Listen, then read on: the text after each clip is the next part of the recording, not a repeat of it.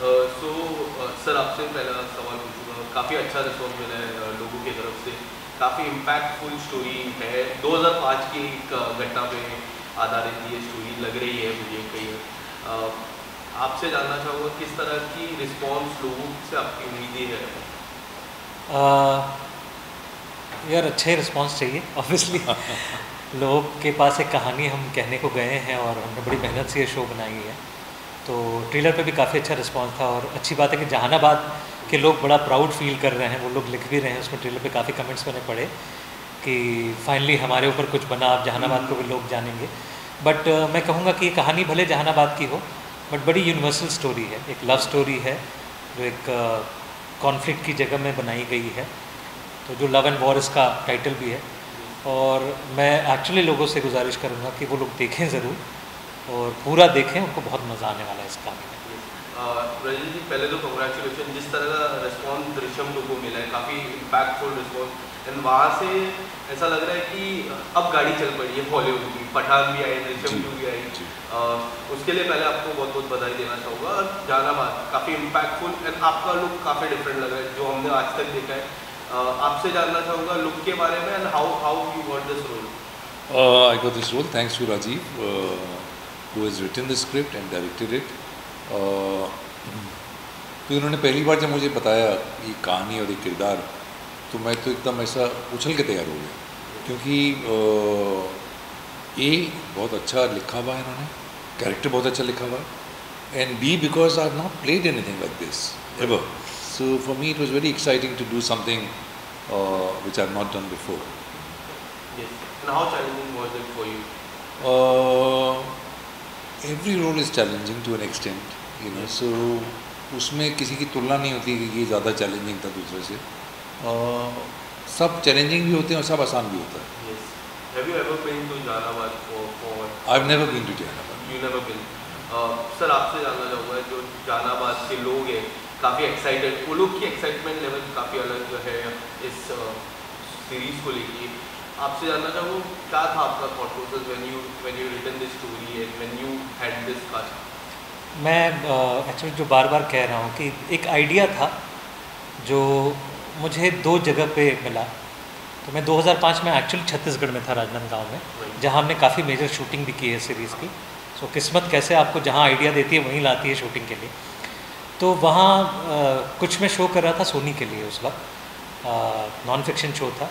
और उसमें कई लोगों से मिलने जुलने का मौका मिला तो मुझे एक एक, एक लड़की की कहानी पता चली जिससे मैं काफ़ी इंस्पायर्ड रहा कि वॉट अ लव स्टोरी और उसी दौरान पे 2005 में ये बहुत बड़ा जेल अटैक हुआ जहानाबाद में बिहार में तेरह नवंबर 2005 को जिसमें वो अपने लीडर को छुड़ा के ले गए। तो मैंने सोचा कि मेरी क्यूरोसिटी की जिज्ञासा बनी कि भाई कैसे किया होगा? किस तरीके से हुआ? क्या प्लानिंग रही होगी? और फिर मैंने फिक्शनलाइज किया उसको। मैंने इस लव स्टोरी को और इस दो इवेंट को इन दोनों की शादी करवाई और अब उसका जो बच्चा है वो तीन फरवरी को आएगा आप लोगों के देखने के लिए। रिस्पॉन्स क्या आ रहा है लोगों से? लोगों को बड़ा एक्साइटिंग लग रहा है और कई मेरे भी जो जानने वाले हैं जो ट्रेलर देख रहे हैं और वो देख रहे हैं तो बोले यार ये बड़ा कई लोगों ने कहा है कि गैंग्स ऑफ़ वासीपुर जैसा लग रहा है और ये है। रॉ लग रहा है जो मैं चाहता भी था। जो मैं और मेरे जो को डायरेक्टर हैं सत्यांशु सिंह या हमारे जो मिंटोर हैं शो में शो सुधीर मिश्रा और बाकी पूरी टीम हम यही चाहते थे कि जिस तरह की स्क्रिप्ट रॉ है जिस तरह के किरदार रॉ है उसी तरह की ये एक एक निकल के भी आए। और लोगों को वो चीज़ मज़ा दे रही है। और होलसम एंटरटेनमेंट है मैं कहूँगा। जैसे भी आप बात कर रहे थे ना दृश्यम की और वापस बॉलीवुड का वो क्योंकि होलसम एंटरटेनमेंट मुझे लगता है वापस आ रहा है। और ये भी होलसम एंटरटेनमेंट है। इसमें ड्रामा भी है प्यार भी है कॉन्फ्लिक्ट भी है। हर एक इमोशन को कोशिश की है हमने पिरोने की। इस तरह का सीरीज़ करना चैलेंजिंग होता है। लोगों से रिस्पॉन्स की भी चैलेंजिंग होता है। तो आपने did you get that thought process कि अगर मैं ये लाता हूँ अगर किसके किसी के चैलेंज आते हैं चैलेंज फेस होती है जैसे जहानाबाद का आप सीरीज़ लाए वहाँ के लोगों के रिस्पॉन्स के लिए चैलेंजिंग रहेगा ऐसा थॉट प्रोसेस कभी आया आपके मन में? आ, लिखते वक्त मैं और मुझे लगता है हर राइटर बहुत ऑर्गेनिकली लिखता है पहले। ये सो आपका जो फ़र्स्ट ड्राफ्ट होता है ना पहली बार जब आप लिखते हो तो बिल्कुल ऑर्गेनिकली बह के लिखते हो कि हाँ सब कुछ होगा। जो आपने देखा है सुना है जो अनुभव किया है और जो आप चीज़ों को फिक्शनलाइज करना चाहते हो। बट उसके बाद जब आप पढ़ाना शुरू करते हो लोगों का ओपिनियन लेना शुरू करते हो तो लगता है कि यार ये चैलेंजिंग हो सकता है। ये एक पार्ट लीगली थोड़ा ये हो सकता है। ये चीज़ किसी को दुख पहुँचा सकती है। फिर आप समेटते हो उस कहानी को उस कहानी को कहते हुए उन चैलेंजेस को ओवरकम करते हो। कैसे आप एक लार्जर ऑडियंस तक इस कहानी को पहुंचाओ और वही मैसेज दे पाओ। तो मुझे लगता है चैलेंजेस शूटिंग बहुत बड़ी चैलेंज थी हमारे लिए क्योंकि बहुत सारा आउटडोर था बड़े सारे किरदार थे और मैं भी पहली बार लॉन्ग फॉर्मेट लग रहा था तो मुझे भी लग रहा था कि मैं कैसे करूँगा। But thanks to my directing partner I जो सत्यांशु सिंह है हम दोनों ने काम बांटा आपस के बीच में। प्री प्रोडक्शन हमने बड़ा स्ट्रॉन्ग किया अपने डीओपी के साथ प्रोडक्शन डिज़ाइन के साथ कॉस्ट्यूम डिज़ाइन के साथ। सारी जो प्री बहुत हम अच्छा करके गए वो प्रिपेयर्ड गए और फिर हमें किरदार एक्टर्स बहुत अच्छे मिले जो तुरंत समझ जाते थे अच्छा ये करना है ऐसा करना है। और वो लोग भी सब बिल्कुल इन्वॉल्व होते सो इट वॉज़ मैं चैलेंजिंग से ज़्यादा कहूँगा कि बड़ा इन्जॉयबल रहा. जहानाबाद शूट करना। और जब आप मिल के करते हो और जहाँ आपको पता चलता है ना मैं हमेशा बिलीव करता हूँ जब काम आपको काम जैसा नहीं लग रहा होता ना उसका रिज़ल्ट बड़ा अच्छा आता है। Uh, रजत जी भी है। तो रजत जी आपसे जानना चाहूँगा how do you switch your roles जैसे दृश्यम टू को मिला इतना अलग एक अलग ही किरदार था आपका।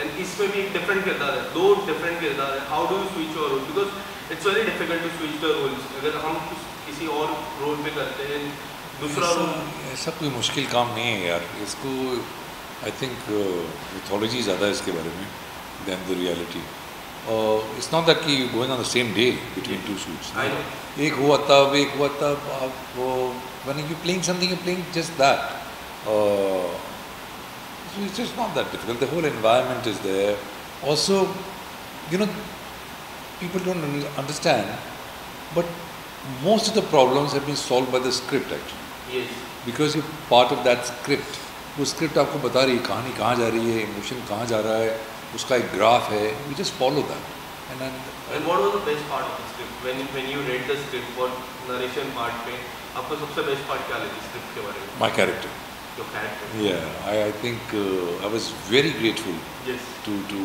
land this role of Shivanand. Uh, this is really, like I said before, it's not something that I've played ever before. you know. Yes. So for me, that was very exciting. Uh, his speech is different, For which uh, Rajiv was uh, holding my hand and guiding me throughout. Uh, and the character is really colorful. Yes and आपके character के बारे में थोड़ा और मैं जानना चाहूँगा। जितना मैंने ट्रेलर में देखा काफ़ी डिफरेंट मैंने पहले ही कहा आपसे थोड़ा सा अगर मुझे और डिटेल में अगर would you like to say about your देखिए वो पॉलिटिशियन है अ, और बहुत ही अ, सालों से है सब देख चुके हैं उतार चढ़ाव ज़िंदगी के और, राजनीति के। और बहुत ही मैनिपुलेटिव आदमी है जिसको जहाँ चाहे अपनी तरफ़ मोड़ लेता है या जैसा अ, अ, अ, माहौल होता है उसको समझ के क्या बोलना है वो सही बात भूल जाते हैं और सामने वाला फिर बेवकूफ़ बन जाता है।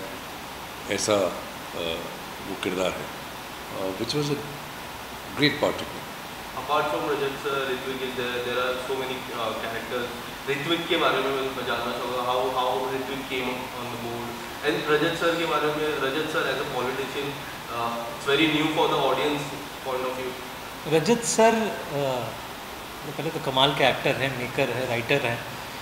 मुझे लगता है, जो मैंने सेट पे समझा रजत सर को while directing him also and मुझे एक बड़ी सुविधा रहती थी ना कि सर खुद भी एक फ़िल्म मेकर वहाँ एज अ एक्टर एक किरदार की तरह मेरे पास आ रहा है।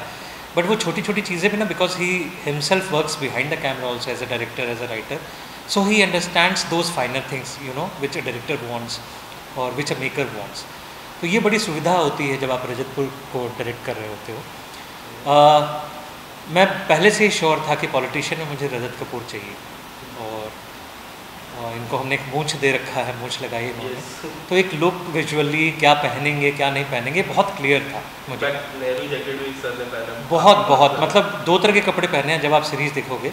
जब ये गाँव आ जाते हैं तो एक बड़ा देसी अटायर में होते हैं धोती कुर्ता नेहरू जैकेट और जब शहर में होते हैं अपने रॉयल्टी में होते हैं तो अलग तरह से बिल्कुल वो पहनते हैं।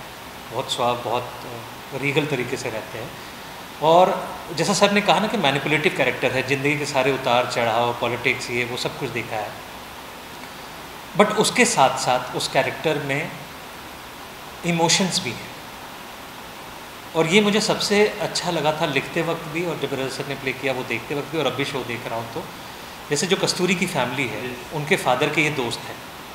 तो जब भी ये कस्तूरी के घर में होते हैं ना, वो पूरी राजनीति जो है ना घर के बाहर ही छोड़ के आते हैं।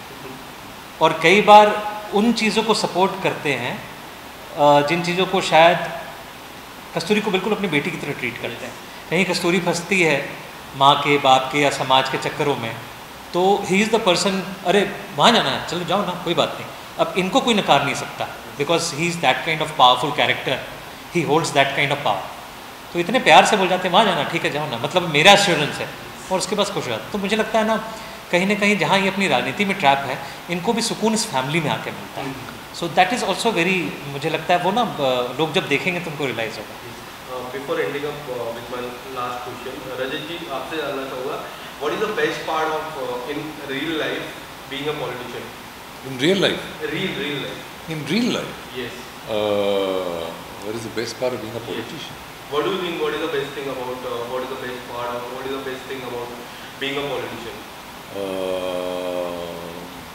भाई बहुत lot of power which can be addictive which can be which can drive you mad I don't know if it's a good part or a bad part yes. if कभी आप पॉलिटिशियन बन भी जाते हैं in the real life what is the one thing that you would like to change for, from the rules? Wow. You know, uh, I'm a father of yes. two children.